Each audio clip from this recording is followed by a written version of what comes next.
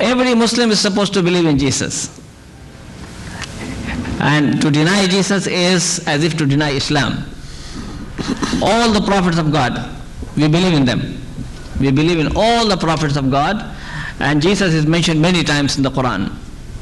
His name is mentioned about 25 times, and he is also called the Masih.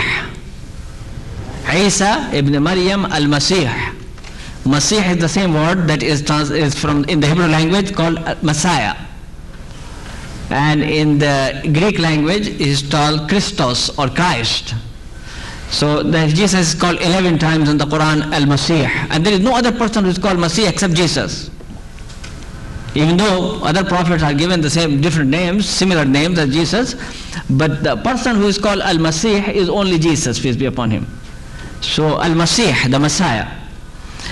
His mother is highly honored and his virgin birth is recognized, that he was born miraculously. So virgin birth of Jesus is mentioned in the Quran. Quran also mentions the miracles of Jesus and says that God gave Jesus a special message. And this message is called Injil, which is uh, called in English language gospel. Actually, the word Injil is very similar to the Greek word evangelium. So in Injil and evangelium is similar words, and English translated as gospel. Uh, he had many honorable names. Jesus has many titles in the Quran. The first and the foremost, of course, Abdullah, the servant of Allah. And prophets are called in many places in the Quran servants of Allah.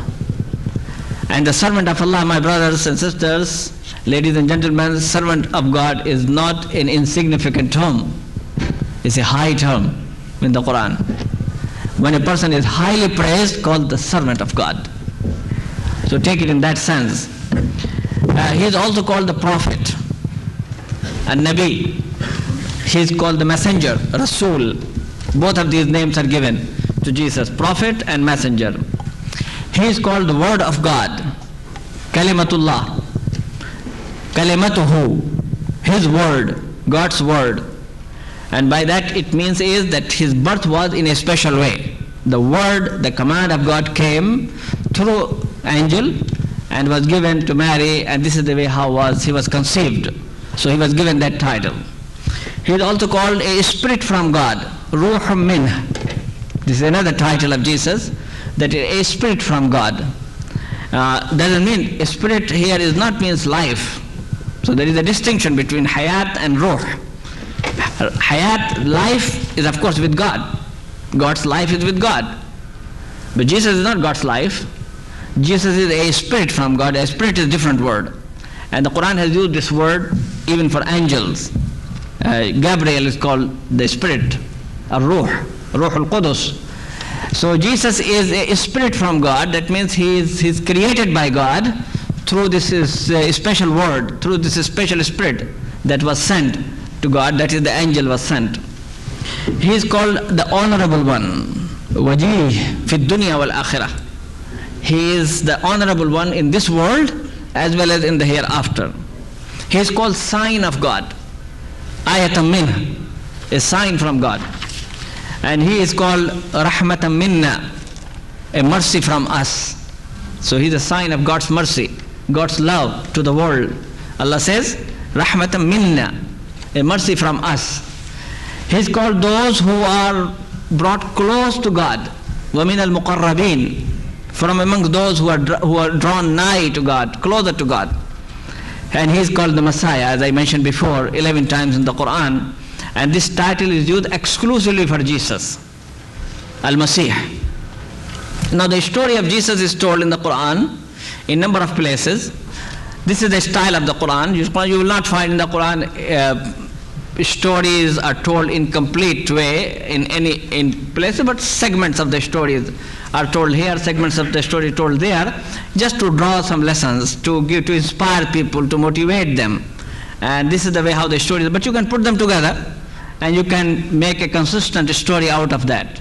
So the birth of, uh, first of all, uh, his mother is mentioned. Even the birth of his mother is mentioned in the Quran. Because Mary has a very high place in the Quran. She called Maryam, And there is a whole surah in the Quran called by that name, surah number 19. It's called Surah Maryam.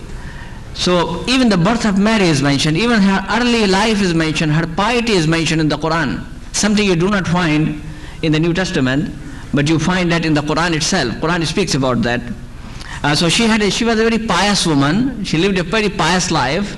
She dedicated her life to the service of the house of God, the place of worship, sanctuary. And there she was. The angel appeared to her and gave her the good news.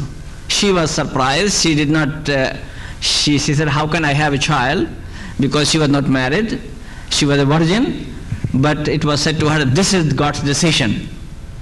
Eh? This is the decision of God, and then she accepted that, but still she was in pain. How she is going to face the people? What people will say to her?